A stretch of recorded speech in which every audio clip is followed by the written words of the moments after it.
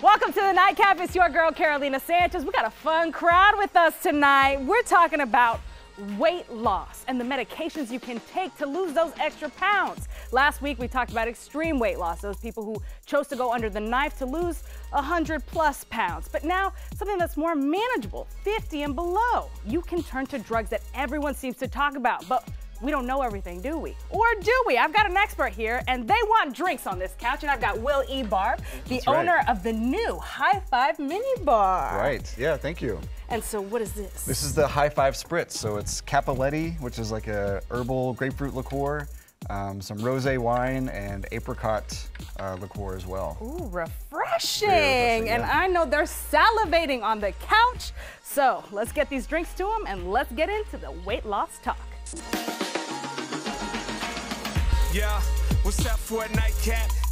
Chill, you know, kick back. All right, we're gonna start things off with a familiar face. We've got Kat Kearns, the owner of Renew Body Contouring and Med Spa. Back in the building last week, you were on, and I wanted to ask you more and more and more and more questions about these drugs because you were saying things like peptides and glucose and things that I didn't understand, and I feel like everyone wants more information, especially because they're so curious. And weight loss seems to be on everyone's minds when the stats are really pointing to a lot of obesity here in the States. It really is. It's kind of crazy. Um, you know, I don't know, you know, the Oprah thing that's going around right now, too. And, you know, she's starting to talk more about the benefits of it. You know, some of the stats that they've come out with, like 74% of the people over the age of 20 are overweight, 56% of our population is obese. So I'm really excited, honestly, about a lot of these. You know, they're they're considered peptides. What a lot of these weight loss Okay, when you are. say peptides, what exactly is a peptide? Peptides are, are things like amino acids, proteins. Um, they're different types of compounds Mm. that help our body recreate or mimic um, different symptoms, like creating proteins that help to go to your brain to make you smarter again, like Mm. creating your body's own natural HGH, which is a human growth hormone. So, Mm. human growth hormone is so important to who we are as a human, especially when you think about the fact that our human growth hormone stopped producing at about 19 years old. Okay. Oh. So that's what helps with your lean muscle mass. That's what helps with your brain. That's what helps with so many different instrumental parts of your body, inner working parts of your body. And so a lot of bodybuilders will go out there and they'll do synthetic HGH, you know, human growth hormone, to put on more muscle mass, things like that. Where peptides will help to release your body's own natural HGH. so is that a So- steroid that you were talking about earlier? So or is no, it different? HGH is a it's a hormone that your body releases naturally. Gotcha. It's a Okay. human growth hormone. So it's just something that when we're young, our body produces a multitude of it to create muscle mass, to Mm-hmm. create strength, to bone density, everything that goes on.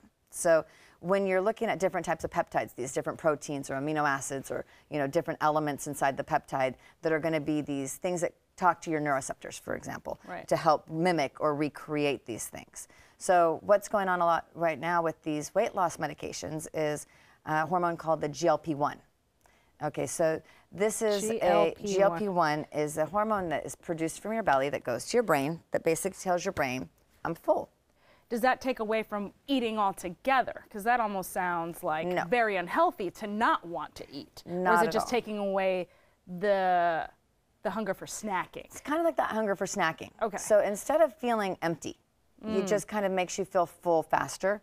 It also slows your digestive tract down a little bit.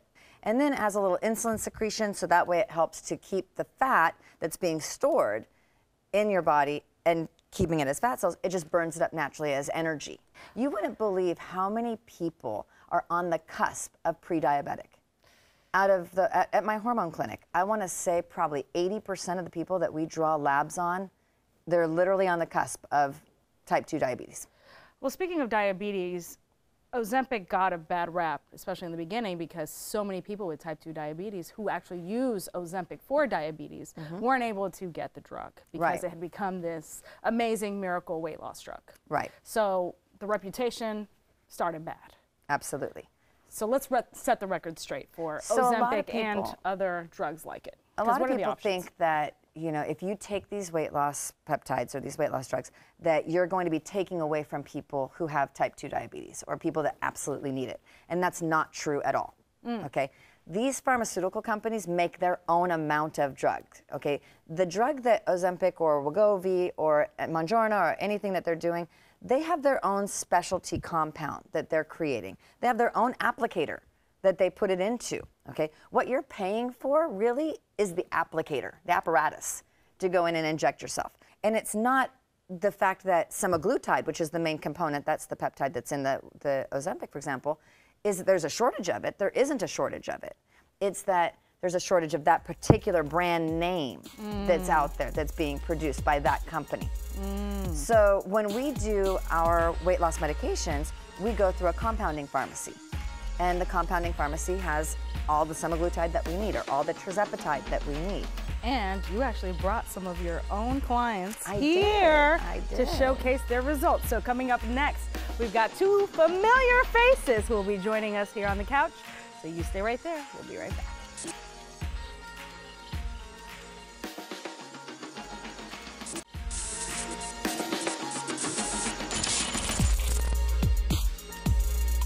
Welcome back to the Nightcap. We've been talking about different weight loss drugs that have hit the market and are all the craze and receiving a lot of criticism and a lot of praise. We've been talking with Kat Kearns, who's the owner of Renew Body Contouring and Med Spa. And you've brought two patients who are very familiar faces, and I would not expect to be patients. We've got Carl Lewis, who you may know as an Olympic gold medalist, and his brother Cleve, who, uh, if y'all don't know, was the first black man to be drafted by the North American Soccer League. So we've got some athletes, star athletes here. Absolutely. And no way in hell would I think that y'all would be taking weight loss drugs. so why in the world? Well, I, I think I think the biggest part of this whole thing is is, is especially in, in my situation, um, the advocacy for health and and people staying together because it's really challenging. You know, I mean, I, I'm 62 years old, and all of my friends it's very very challenging. And so the thing is that I, I look at it from a broader perspective of um, it's not just a matter of trying to whether it's weight loss drugs or workout or exercise. It's not just a matter of trying to look better. It's it's also we want grandparents. We want knowledge. We want people having a quality of life as they get older. So um, it, it's really something. It's it's it, to me. It's more than just myself. It's really about an advocacy. And I work out. I ride bikes. Um, I watch my diet. So I, I really have a full uh, level of program that I try to keep myself healthy. But the biggest thing is to inspire people to uh, really be the best they can be and understand it's a real challenge. And it and it helps. Cleve, what, 100%. what's been your journey? Yeah, for me, uh, you know, after my uh, professional days, which were a long time ago, I went into corporate America. And uh, I spent a lot of time traveling uh, in restaurants and just flying and being on the road. So, you know, you, you gain weight over, over time and, you know, your life changed. And uh, with kids and, and responsibilities, it really, really makes it tough to, uh, you know, stay where you were uh, for yourself. Right. So I just recently retired, and uh, with that, I said that the first thing that I wanted to do was I wanted to get fit again, fit, you know, like I was, you know, back in my 30s. So, um, you know, I looked at a couple of things, talked to Kat, and uh, it's worked out very, very well for me this last year or so. So it's been about a year, a little over a year now, that um, I've been back in some really good shape. And so I take it, I mean, listening to both of you, you guys have been eating right. You've been going to the gym when you can, like trying to maintain, and so it wasn't enough. Well, it, it's it's a real challenge, and I think one of the great things about Kat's space is that it's it's it's really um, a space where you could think about every facet of life, of how to stay healthy and how to look forward. It's about understanding the diet, nutrition, uh, but other things that you can do to make sure you stay your best and you're healthy. So uh, I look at her as, as more of a whole life person um, and a, f- a future person because you're looking at your future and, and you want to make sure that your future can be something that you can enjoy. Wow. You know, I, I, I would add to that, uh, you know, the hormone therapy. You know, there's certain things that you're looking at. Your, over the years, your body changes. Right. And many people stay in their minds of 35, but they're in the bodies of 65, right? Mm-hmm. So, you know, things just don't work the same. So you really, really have to understand the science behind what your body is doing and where it is. Right. And, and then go from there. Cleves absolutely, he hit the hammer on the head when he said, you know, your body, they live in a 35 year old body, but they're 60 years old. Right. You know, and your mentality does need to change. And so when you start optimizing and doing proper hormone replacement therapy, getting some testosterone in you, you know, for men especially, being able to put on that muscle that they were losing. One of my things that my men always tell me that they love about when they start doing the hormone pelleting for the testosterone, the first thing they did is they went to the gym, and the next thing they know, they're lifting more weight than they were before with half as much work to get there. You know, so they just love that feeling and that endurance and the serotonin that comes along with it. It makes you want to work out more. So these weight loss, you know, medications are great to help you lose weight, but sometimes they have some side effects. Right. They have a loss of muscle mass that can happen with them. Mm. Women see, you know, some women are losing their butts. Some women lose a little bit in the boobs. You know, things like that. Some men get a little soft. Mm. And if you're not doing the proper balance of making sure that your hormones are in the right place, especially if you're anything over the age of 40 years old. Right. You know, make sure you're being able to retain that muscle mass. So I think one of the reasons that Cleve and Carl both have great success is they have great testosterone levels, they're hormone managed, you know, they're able to keep their muscle on. So while they're in the gym working out, pumping iron, doing what they need to do, they're able to lose that fat and Right. drain the fat quickly, but not so quickly that they're ending up with the sagging skin. And, know, and y'all are doing a holistic approach. It's Well, not just I- going I, in look and at getting it like this. It, it's not. You still have to get out and work out. You Right. still need to get in the gym and lift.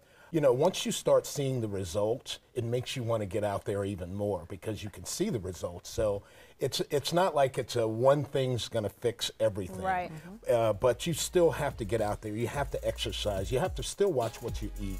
You know, and do all those things. But you know, I think uh, holistically, it's going to get you there much quicker. You're going to look much better, uh, faster.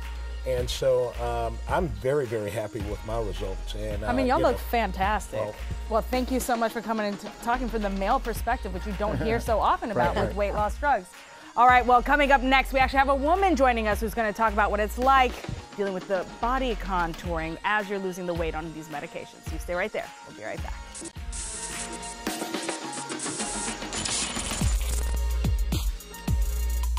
Welcome back to the nightcap. When you talk about weight loss drugs, all you seem to think about are the women. And so finally, we've got a woman joining us on the couch. We've got Dina Musby, who is busy, busy, busy as a real estate agent. Are you a broker? What? Yes, I'm a real estate agent. I have my own team um, with Compass and uh, just running around all the time. I have a six year old and married, you know, president of the Women's Council of Realtors, doing a million things. A million things. And being a mom and trying to tackle it all and stay fit as we're challenged to do all the time. So you decided you were going to go visit our girl Kat and take on the weight loss journey through these medications. Yeah. How was that decision? I was pre-diabetic, you Mm. know, so I wasn't diabetic, but I was getting there, you know, and I was just gaining weight just because of the time. You're eating bad, you don't have the time to work out, you don't have the time to do just the Right. everyday things, you know, even eating. My husband always teases me, he's like, How, I never forget to eat. And I'm like, I'm just running around, I forget to eat. So um, not eating is not good either. So Right. And we and you think about you're gonna you're gonna shed the weight not eating, but Nope, baby, instead your body worse. just wants to store more Yeah. and you just end up gaining more weight, you Yeah. know? So how has your journey been? How much weight have you lost? I've lost about 25 pounds. Baby. So it's been great. I can definitely t- tell a difference in the way I feel, um, my energy level, obviously keeping up with all that I do naturally. And then the six year old that has energy, like if you could only bottle that energy up in a bottle, um, it would be awesome. But um, I think it just, it really just changed even wanting to work out, you know, and I'm not, I don't have a lot of time to work out. So Your workout is chasing around the six-year-old and showing all these wonderful houses off. That, That's the workout you you. I invested right in a rower because you can do a rower. Rowing is a full body workout rowing, in 15 to 20 minutes. You can do a full body workout, run upstairs, take a shower, and you know, Right. be done. So that's what I'm doing. I love that. And I think, you know, what you mentioned earlier, Kat, was that women, we obviously Mm-hmm. want to have that wonderful hourglass shape. We want to keep things right and tight in the right spots. But with us losing muscle Mm-hmm. on, on these medications, you have to go with the body contouring. And you've gotten some body contouring done too, right? Yes. All right, ca- do you mind standing up, showing off this bod? Hey. Okay, baby, come on. come on. So what, what did you do with, um, with Dina? So Dina, you know, when she first came to me, it was very funny. We were talking about, you know, a couple of combination of things, you know, doing a little bit of body contouring and when we had looked at her numbers, we saw that you know her A1C was elevated, her glucose was high, her triglycerides were high. It was like you know you really are a great candidate for you know one of these weight loss drugs, one of these medications to kind of help lower these things down and balance yourself out. And she's a typical client that you would see in a med spa. You know, mm. Works full time, mom full time, you know, chairs different foundations and societies, things like that. So I mean, she's just go go gadget go. My So my biggest like challenge with her was yeah was the was the injection. Okay. Okay, and I so, see that you yes, brought it. There's a there's a once a week injection when you're doing these weight loss medications, and so people are always like, okay, is this something I have to inject it every day? Is it something I take orally? Like, how do I do this? Are you going to do it for me? Mm-hmm. You know. We do give the option. You can come into the clinic and we'll inject you, no problem. But Dina, you know, on the fast-paced life scale that she has, teaching her how to do it for herself, you know, How and was making her feel confident. Oh, that's tiny, tiny. Yes. Yeah. So we tell people to get skin. like a 3 cc uh-huh. insulin syringe because the thing is, is that you're only going to pull 10, maybe. I'm going to go ahead and pull this off here. You know, 10, maybe 15 units. So it's such a small amount Right. that it's hard to see sometimes. So the smaller the gauge, the better you can see the product. Right. Then you're just putting it in. You can either put it in a, a subcutaneous spot like the stomach for a little fat. When people come to us, we sometimes put it in the arm. Mm-hmm. You know, either one. Side effects wise, you know, I have found that the semaglutide does have more side effects where we have more gastro and you know intestinal Talk to me, talk to me, Dina. Yeah. You're- you're- Dina's you're done both. She's done the What'd you- what'd you, semaglutide and the uh, experience? tirzepatide. I, you know, tried I think the semaglutide 1st Mm-hmm. and um, within a couple weeks I was like, nope, that's not for me because I couldn't hold anything down. Like, I mean, everything. Uh, my, I I generally have a sensitive stomach already, Oof. but it just I was like, okay, this isn't for me. You know, I just and then she's suggested that I tried The tirzepatide. tirzepatide, and mm-hmm. it was a game changer because then also I was found myself on the semaglutide very tired. Um, nauseous all the time. I was just like, this is the opposite of what I need. You know, Right. right now I can't be down for days on end. So Dina also does the supplements. You know, so we mm-hmm. mix things with like a hyphalonic or the Mitocore, which helps with the energy, so mm-hmm. you don't see that lack of energy. Because a lot of times when people first start this, they're not eating as much. Mm-hmm. And the one thing you do crave, I will say, because I've done it myself, I crave protein. Ooh, which is Instead great. of craving the sugar and the carbs, I crave protein and I crave greens. Mm-hmm. your Wow. taste buds completely Your change. taste buds kind of change. Yeah, wow. so you're not craving the high fat, the high sugar. It kind of really has changed and helped me eat better. And I think it's pretty much done the same for you, right? So, question for And I you, like Kat. When you when you get to, let's say she went in and she was like, I just want to lose 25, and now I look fantastic. Do they eventually get off? Is there like a protocol for getting off, yeah, or so do you we depend taper. on it forever? We do. We taper you down. There's actually no reason for you. Like you can come back on it or off it at any time mm-hmm. because again, it's not synthetic. You know, so it's still communicating with your body's own neuroreceptors. But we do have different supplements that we try to bring in while you're on it. So like the hyphalonic, for example, Mm-hmm. is a natural way of your body producing that same GLP-1, but it's done in a in a vitamin substance. Oh. So that way, as you are coming off and we're tapering you down, you're not relapsing. Because a lot of people think, oh, when I come off of this, am I going to gain all this weight back? Right. And some people do. But most in our clinic don't. All right, yes, it cheers does. to weight loss. and there are options for you. High five. All right, high five, because coming up next, I'm heading behind the bar to get a taste of High Five Mini Bar. You stay right there. We'll be right back.